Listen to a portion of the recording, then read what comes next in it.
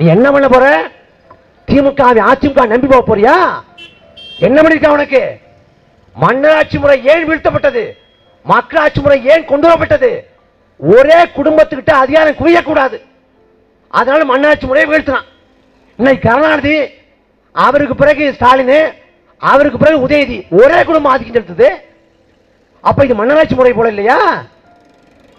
திமுகவை சேர்ந்த நேரு சொல்றாரு கருணாநிதி குடும்பத்துல யார் தலைவரா வந்தாலும் நாங்க ஏத்துக்கோங்கிற கருணாநிதி குடும்பத்துல ஒரு பைத்தியக்காரன் வர்றான். ஏத்துக்குவியா?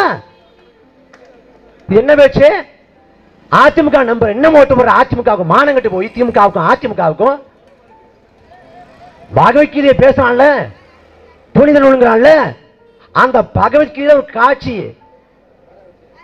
அரண்மனைக்குள்ள திரௌபதியோட ஆடை அவிழ்க்கப்படுது சேலை உருவப்படுது.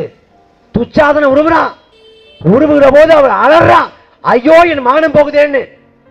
அப்ப கிருஷ்ண பரமாத்மா அவதரித்து அவள் மானத்தை காக்கிறது. இது காட்சி. ஒரு பெண்ணோட ஆடை அவிழ்க்கப்படுறப்ப அந்த இறைவனே அவதரித்து வர்றாங்க நீ நிஜத்துல பாரு. நிஜத்துல பாரு. பொள்ளாச்சியில் நடந்துச்சு பொள்ளாச்சியில் ஒரு தங்கச்சியோட காத்தல ஓடி அந்த ஓலம் அந்த அழுகுரல் அந்த விம்மல் சத்தம் உன் காத பிளக்கல? காத பிளக்கல? வாட்ஸ்அப்ல பேஸ்புக்ல எல்லாத்தையும் வந்துச்சு ஒரு தங்கச்சி கதறா பொள்ளாச்சியில பாலியல் வன்புணர்ச்சிக்கு உள்ளாக்கப்பட்ட ஒரு தங்கச்சி. அண்ணா அடிக்காதீங்கண்ணா அண்ணா அடிக்காதீங்கண்ணா. நான் ஆடி அவுக்கிறேன்னா நான் ட்ரெஸ்ஸை கலெக்டர்னா அடிக்காதீங்கிறா பெல்டால் அடிக்காதீங்கிறா அவ ஆடி அவிழ்த்தாளே அப்போது அம்மனமாக நின்னது அந்த தங்கச்சி அல்ல. இந்த இனத்தோட மானம் வீரம் கவரமும் ஒட்டுமொத்த தமிழனும். தலை குனிஞ்சு இருக்கணும் நின்னியா? எவன் ஆடி அவிழ்த்து அமனமாக்கினானோ அவனுக்கு அதிகாரத்தை கொடுத்து ஓட்ட போட்டு திரும்ப அதிகாரத்தை கொண்டு போனேன். மறுபடியும் எடப்பாடி போடுற. மறுபடியும் திமுக போடுற. தூத்துக்குடியில பதினாலு பேர் சுட்டு கொண்டானே கேட்க நாஜிருக்கா கேட்க நாஜிருக்கா அடிமை இந்தியாவில் ஜாலியன் வாலாபாக சுட்டு கொலைச்சுதான் அன்றைக்கு ஜெனரல் டயரு அன்னைக்கு அரசு எடுத்து போறான்னா அதுக்காக சுட்டு கொண்டான். இன்னைக்கு அரசு எடுத்து கூட போராடல ஒரு தனியார் நிறுவனம் ஸ்டெர்லைட் அதுக்கு தான் போராடுறான் அதுக்கு சுட்டு கொண்டுட்டான். அன்னைக்கு ஜாலியன் வாலாபாத் படுகொலை நடந்ததற்கு பிரிட்டன் பார்லிமென்றம் வருத்தம் தெரிவிக்கிறது. ஆனா சுதந்திர இந்தியாவில் தூத்துக்குடியில பதினாலு பேர் சுட்டு கொண்டானே பதினேழு வயது தங்கை ஸ்னோலின் துப்பாக்கி தோட்டா தொண்டைக்குடி வழியாக உள்ளே போய் மூளை சிதறி இறந்து போனாலே அந்த தங்கச்சி செஞ்ச பாவம் என்ன? எவன் சுட்டு கொன்னானோ அவனுக்கு தான் நீ ஓட்டு போடுற. திமுகவுக்கு அதிமுகவுக்கும். ஜெயிக்கிற கட்சிக்கு ஓட்டு போடணுங்கிற. கட்சிகள் ஆட்சிகள் ஜெயிக்கும். நீங்க தோத்து போவீங்க. நாங்கள் ஒரு முழக்கத்தை தெளிவா இருக்கும்.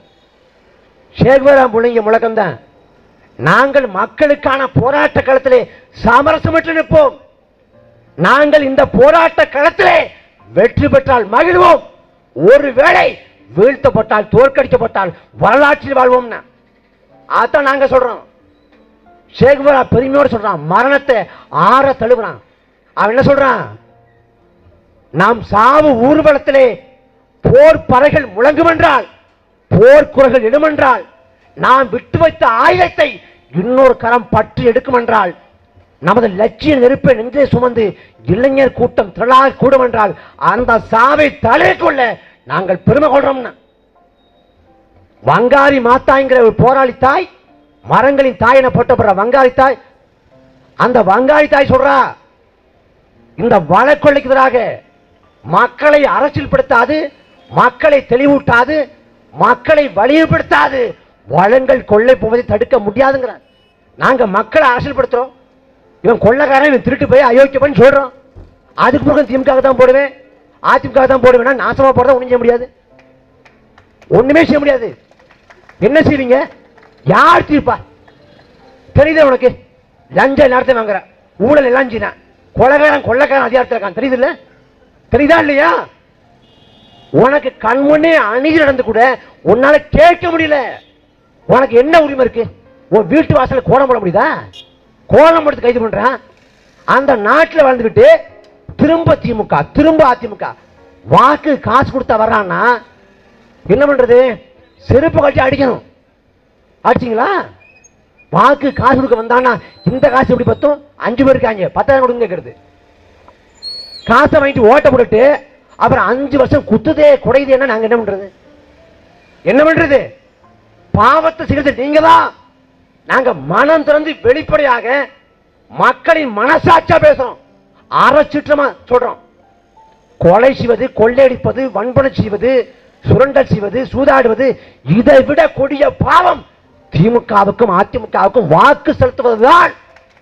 நீங்க ரட்டளைக்கு உதயசூனுக்கு வாக்கு செலுத்துகிற வரை எந்த மாற்றம் நாட்டில் சாத்தியப்படாது. படவே படாது. உங்களை போல அடித்தட்டு உழைக்கும் மக்களின் வயிற்றிலே பிறந்து ஒரு வழி இல்லாம நாங்க கட்சியா மாறிட்டோம். எங்களுக்கும் தனிப்பட்டு எந்த பின்பலமும் இல்லை எந்த பின்னணியும் இல்லை. நாங்களும் உங்களை போலதான். அண்ணனுக்கு வே- வேலைக்கு போனதான் வீட்டில் அடுப்பறியும் மாத சம்பளத்துக்காக ஏங்களை விட்டு பிள்ளைகள் தான் நாங்களும்? கல்வி கடன் வாங்கி படித்த பிள்ளைகள் தான் நாங்களும். வேறு வழி இல்லாம இந்த தளத்துக்கு தள்ளப்பட்டோம். இந்த கட்சி எப்படி மாற்று அரசியல் புரட்சி? நான் ஏற்கனவே ஒரு மணி நேரம் பேசிட்டேன். எங்க அண்ணன் ஒரு மணி நேரம் பேசியிருக்காரு. ரெண்டு மணி நேரம் பேச்சில் இந்த கட்சியின் தலைவன் சீமான். சீமானுங்கிற பேரை நாங்க உச்சரிக்கல. ஒரு கட்சி தன் கட்சியின் தலைவன் பேரை சொல்லாது. மக்களிடம் பொதுக்கூட்டம் நடத்த முடியும் என்றால் இந்திய பெருநிலத்திலேயே நாம் தமிழக கட்சியில மட்டும்தான் சாத்தியம். நாங்கள் சீமான் போலவே பேசுவோம். சீமானை பத்தி பேச மாட்டோம். எங்கள் அண்ணன் வளர்ப்பு அப்படி. நீங்க உணர்ந்துகிட்டு வர இருக்கிற தேர்தல்ல உங்க பிள்ளைகளுக்கு ஓட்ட போடுங்க. திரும்ப கமலஹாசனுக்கு போடுறேன் ரஜினிகாந்துக்கு போறேன்னு ஒண்ணும் செய்ய முடியாது. கமலஹாசன் பார்த்தீங்க. அவர் என்ன பண்ணாரு? பாராளுமன்ற தேர்தல் பரப்புரையப்ப ஒரு விளம்பரம் வர்றாரு அந்த விளம்பரத்தை என்னன்னா ரிமோட் எடுத்து ஓங்கி அடிக்கிறாரு. தொலைக்காட்சி போட்டியை நோக்கி. ஆகா திரைத்துறையில் இருந்துட்டு இவ்வளவு முற்போக்கா இருக்காரு. கேளிக்கைகளை விரும்பாம இருக்காரு. இவருக்கு போடலான்னு போட்டேன். போட்ட பிறகு ஆளுங்களா காண்டு பார்த்தா தொலைக்காட்சி உட்காந்துருக்காரு பிக் பாஸ் டுப்புக்கு டுப்புக்கு பிக் பாஸ் அவருக்கும் ஓட்டு போட்டுருக்கான். நாலு விழுக்காடு மக்கள் என்ன செய்வது? அவருக்கும் தீபா வருதா தீபா கட்சி தொடங்குது. தீபா படியும் நாலு பேர். அது என்ன சொல்லுது? ஆர்க்க எனக்கு ஓட்டு போட்டு வெளில வச்சீங்கன்னா நான் கச்சத்தீவை மீட் பண்ணிருச்சு ஆர்க்க இருக்கு? கச்சத்தீவு இருக்குது? ஆர்க்க ஒருத்தர் விநியோகிக்கிறாங்க. ஒரு துண்டறிக்கையை ஒரு சுயேட்சை வேட்பாளர். நீங்கள் எனக்கு வாக்கு செலுத்தி என்னை சட்டமன்ற உறுப்பினராக மாற்றினால் நான் அண்டை நாடுகளுடன் நட்புறவே பேணுவேங்கிறான். உங்களுக்கு புரியுதா? பாகிஸ்தானோட பர்மாவோட சீனாவோட எம்எல்ஏ இருக்கிற ஆட்கள் எம்எல்ஏ நட்புறவை பண்ணுவாராம் இந்த உள்ளாட்சியில் ஒருத்தன் வச்சிருக்கான் துணரிக்கைய நீங்க என்ன மட்டும் வார்டு மெம்பர் ஆக்கிட்டீங்கன்னா நான் சிஐஏவை திரும்ப பெறுவேன். கொடுக்க முடியுதே? மக்கள் தெரியலையே. அப்ப என்னதான் செய்ய போறீங்க? நான் எளிய உதாரணம் சொல்றேன். கழுதை இருக்கு பாருங்க கழுத. அந்த கழுதைகிட்ட போய் ஐம்பது ரூபா பணத்தை கொடுத்தோம்னா கழுத தின்றோம். அந்த கழுதைக்கு தெரியாது ஐம்பது ரூபா பணத்தை வச்சு அஞ்சு கட்டு பேப்பர் வாங்கி அஞ்சு நாளைக்கு திக்கலாம்னு அது போல ரெண்டாயிரம் ரூபாய் நாலாயிரம் ரூபாய் காசு கொடுப்பான். வாங்கிட்டு ஓட்ட போட்டுருவோம். அஞ்சு நாள் நல்லா இருக்கும்ட்டு. ஆனால் அஞ்சு வருஷம் கஷ்டப்படுவோம். அது வாக்கல்ல நமது வாழ் உரிமை. ஐந்தாண்டு கால வாழ்க்கையை தீர்மானிக்க போகுது.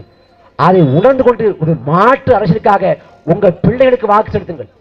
ஆயிரம் ஆண்களாக அதிகாரமற்று உலகம் முழுக்க அகதியாக உலகம் முழுக்க கூடியாக தென்னாப்பிரிக்காவின் வைர சுரங்கங்கள்ல மலேசியாவின் ரப்பர் தோட்டங்களில் இலங்கை தேயிலை தோட்டங்கள்ல எல்லா இடத்திலும் அடிமாகின்ற தமிழன் அகதியாகின்ற தமிழன் அதிகாரத்தை சுவைப்பதற்கு வரலாறு தந்திருக்க கடைசி வாய்ப்பு நாம் தமிழக கட்சி மட்டும்தான். இன்னைக்கு நாங்க தந்து கொண்டுட்டு தெருக்குள்ள கத்தி கொண்டிருக்கலாம். ஆனா வரலாறு சத்தியமாக கையடிக்கும் அதிகாரத்தை தரும்.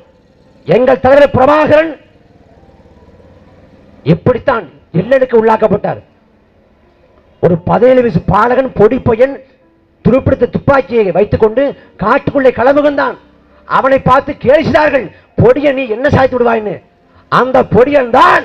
பின்னாளில் உலகத்தின் தலை சிறந்த வல்லாதிக்க நாடுகள் சிறந்தால்தான் வீழ்த்த முடியும் அளவில் உலகத்தின் தலை சிறந்த இராணுவத்தை கட்டமைத்த நம் தலைவர் பிரபாகன் அந்த தலைவரின் பிள்ளைகள் என்பது உண்மையென்றால் அந்த தலைவரின் வழியில் நிற்பது உண்மையென்றால் எங்கள் மாணவர்கள் மூச்சு காட்டி எங்களை இயக்குவது உண்மை என்றால் சத்தியமாக நாங்கள் வெல்வோம் நன்றி வணக்கம்.